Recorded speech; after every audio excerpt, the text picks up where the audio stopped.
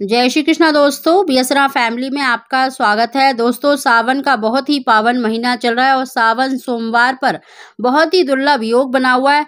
दोस्तों, आज की वीडियो में हम मनोकामना पूर्ति का बहुत ही सरल और अचूक उपाय आपको बताने वाले हैं। दोस्तों, अगर लंबे समय से आपकी मनोकामना पूरी नहीं हो पा रही है तो आप इस सोमवार के दिन इस उपाय को अवश्य करें। दोस्तों, आप अपनी किसी भी मनोकामना के लिए, चाहे वो शादी की है, नौकरी की है मतलब आप अपनी किसी भी मनोकामना के लिए इस उपाय को कर सकते हैं। संतान के लिए, पुत्र के लिए, यानी किसी भी प्रकार की मनोकामना के लिए आप इस उपाय को सावन सोमवार पर अवश्य करें। इस बार सावन सोमवार पर बहुत ही अद्भुत योग बना हुआ है, क्योंकि सावन का सोमवार है और अष्टमी तिथि है और इस दिन भगवान शंकर और माता पार्वती के मिलन का दिन माना जाता है। और साथ ही इस दिन गज केसरी योग बना हुआ इस योग में किया गया कोई भी उपाय निष्फल नहीं जाता। दोस्तों, इस उपाय को आपको पाँच बार करना है। यानी आप सावन सोमवार में कर सकते हैं, प्रदोष वाले दिन कर सकते हैं, सावन शिवरात्रि के दिन कर सकते हैं। इस प्रकार आपको पाँच दिन इस उपाय को करना है। आपकी इच्छा अवश्य ही पूरी होगी। दोस्तों, उस उपाय को जानने से पहले अगर अभी तक आपने हमारे चैनल को सब्सक्राइब नहीं कर रखा तो प्लीज़ सब्सक्राइब ज़रूर कर लें। बगल में बेल आइकन को ही प्रेस कर दें, जिससे मेरी आने वाली सभी लेटेस्ट वीडियो का नोटिफिकेशन सबसे पहले आप तक पहुँच सके। दोस्तों, इस उपाय को उसी विधि से करना है, जिस विधि से हम आपको बताने जा रहे हैं। दोस्तों, प्रदोष वाले दिन और शिवरात्रि वाले दिन आपको सायकाल के समय इस उपाय को करना है और सावन सोमवार के दिन आपको सुबह के समय इस उपाय को करना है।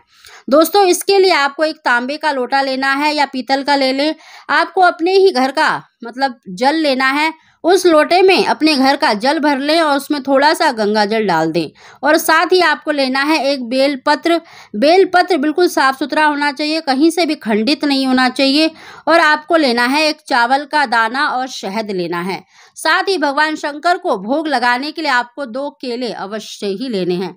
इन सभी वस्तु को लेकर आप शिव मंदिर में जाएँ और उत्तर दिशा की तरफ़ मुँह करके आपको ये उपाय करना है। दोस्तों, सबसे पहले जो आपने बेलपत्र लिया है, उसको अच्छे से धो लें और अपनी अनामिका उंगली, यानी जो सीधा हाथ होता है, उसकी जो अनामिका उंगली होती है, उससे आपको जो बेलपत्र की बीच वाली पत्ती है, उस पर बड़ी सी बिंदी लगानी है। यानी शहद से आपको उस पर तिलक करना है और जो चावल का दाना, एक दाना आपने लिया है, देखिए, चावल का दाना भी खंडित नहीं होना चाहिए, उसको अपने सीधे हाथ में लें, ग्यारह बार अपनी मनोकामना बोले और सोमेश्वर महादेव का ध्यान करते हुए उस चावल के दाने को आपको उस शहद पर, यानी बेलपत्र पर जो शहद लगाया है, उस पर आपको चिपका देना है। और चिकनी साइड से ही आपको वो शिवलिंग पर चढ़ा देना है। और ऊपर से आपको सोमेश्वर महादेव का ध्यान करते हुए या ओम नमः शिवाय का जाप करते हुए वो एक लोटा जल शिवलिंग पर चढ़ा देना है। साथ ही दोस्तों, जो आप केले ले गए हैं, वो भी आप शिवलिंग पर अवश्य चढ़ाएँ अपनी मनोकामना बोलकर। और पूजा करने के बाद उसमें से एक केला अगर आप संतान की इच्छा रखते हैं तो पति पत्नी अवश्य ग्रहण करें।